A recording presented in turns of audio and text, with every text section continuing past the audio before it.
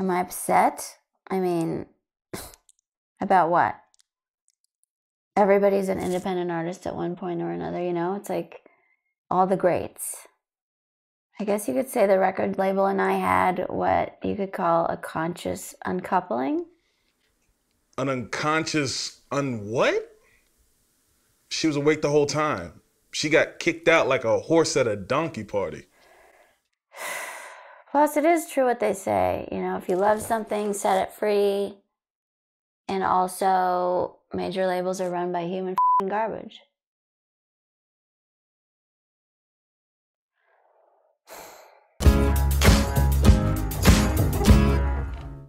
I know how to cheer you up. Let's play MTV Cribs. Okay, so this is my room. Um, this is like MTV Cribs, not because of the show, just because my bed is literally the size of a crib.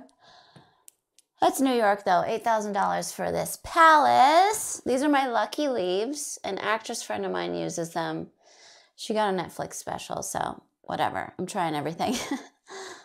so this is my kitchen. Uh, this is where absolutely nothing happens. I hate these cabinets, but the landlord really wants to preserve the beauty of the 80s. So I'm not allowed to do any renovations. One frying pan just in case of guests or intruders. I don't know why I keep it in there. It's very Carrie Bradshaw of me, maybe. These are my children. Let's go see the Airbnb guest room. So I live in a two bedroom and I like to Airbnb the guest room to supplement my income a little bit. I mean, it's New York. I'm an independent artist now, so you gotta do what you gotta do. But this is super cute. Oh my God, I'm so sorry. Sorry. Oh no, I'm just filming something. No, it's fine. No, that's a cute bra though. She's from Colombia. I like to Airbnb because you learn a lot about different cultures and people from all over the world. Uh, it's funny, Korean women, they think the whole bathroom is a shower. Often I've found like three gallons of soapy water on the floor. There's clearly no drain. I mean, I wish I had a Korean bathroom. A Dutch woman once left a bloody paw print on my wall, and Russian women don't like to flush. But otherwise, things have been good. Um, I think I might be racist. LaVar, we should go. This game is over. You know, it's the life of an artist, you know? God damn it. If it isn't dog shit or dog piss in this city, and nobody picks up the trash, you know, it's like, do you care about your community? I guess not. Anyway, it's like YOLO, you know, like live mas, don't stop believing. Isn't that Taco Bell? No, that's Journey, babe. We're on our way to meet with a co-writer for the first single off my new EP. And sometimes I like to just, you know, come around, walk around the city, get inspired. You know, I mean, look at this place. How do you not get inspired here? I mean, not that, but like, you know, okay, this isn't a good street, but you get the gist. I just don't know what to write about today. You know? I know what we can do. Is this like a drug thing? No. Have you done ayahuasca? I feel like I should do that. Like it would like open me up. Although I do know a girl who shot off her face doing that. No, I was thinking more of word association. Like I give you a word, you give me the first thing that comes to mind. Okay. All right. Okay. Blue.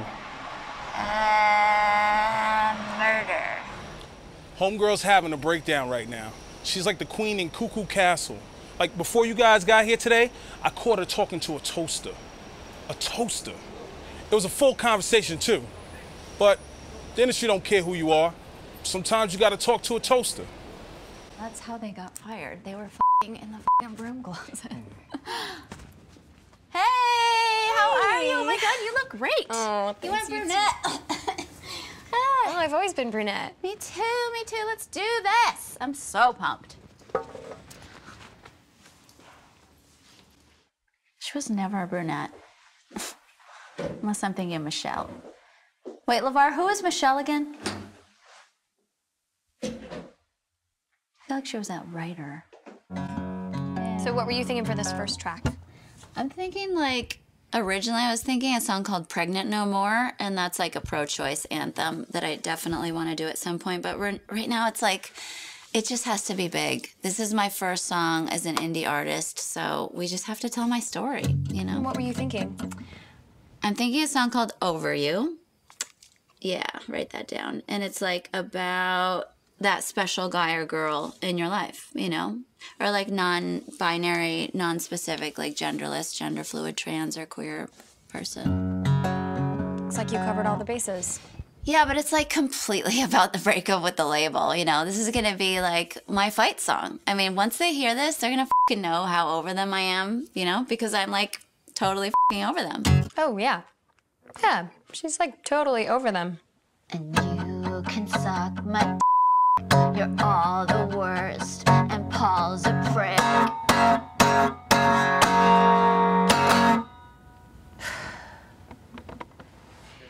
All right, boom.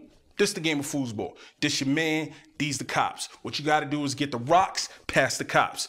These your mans right here too. But what happens is one of them starts snitching, he gets bagged, you know what I'm saying? Now the whole game is up because he starts snitching, he messed up on him, he turned over on him, and now he's over here smoking crack.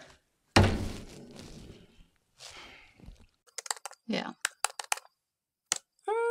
I don't, I don't know if that last line really gets at the heart of an ended relationship. What the hell do you know about relationships? You're like 15. Well, I'm 26. Hmm? I've been happily married for three years now, so. Yeah, I'm sure happily is not the word your husband would use, okay? Guys are different. It's been an hour. I haven't heard anything, so I guess it's going okay.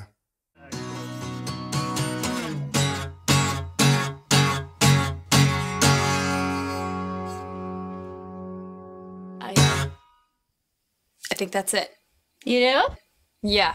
Do you think we should cut those last three lines though? I, this song just felt right without the C word making an appearance. Let's sleep on it. You know, sometimes it's just better the next day. Yeah, well. That was amazing. Another successful writing session. To quote the queen, I'm a boss, you're a worker, bitch. I make bloody moves. LaVar, is it cool to quote Cardi B like that, or is it like when I said I was woke? Do you, Lady Bird? Just checking.